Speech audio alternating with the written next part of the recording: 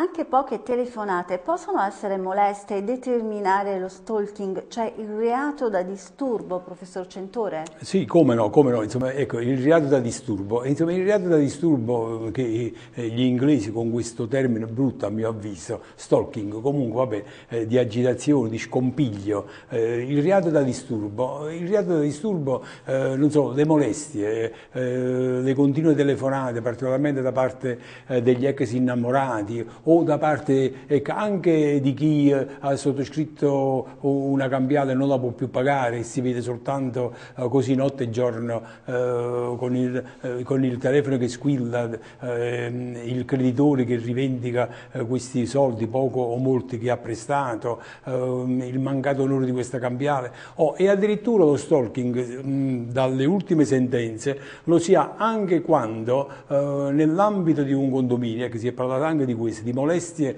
eh, che si possono eh, avere eh, allora quando l'amministratore condominiale imperversa nel chiedere il pagamento della bolletta pur sapendo che, eh, che c'è qualche difficoltà temporale, cioè addirittura si è ipotizzata oh, questa, questa, forma di reato. Mh, mm, ecco, anche, anche eh, nell'ambito condominiale, ma per tornare alla sua domanda, indiscutibilmente anche poche telefonate, questo hanno detto i magistrati, però telefonate di un certo contenuto, di un certo tono, anche di una certa eh, cioè di una frequenza eh, anche ravvicinata, eh, sia pure numericamente poche, e danno luogo eh, proprio a questo, a questo reato. Oh, e, mh,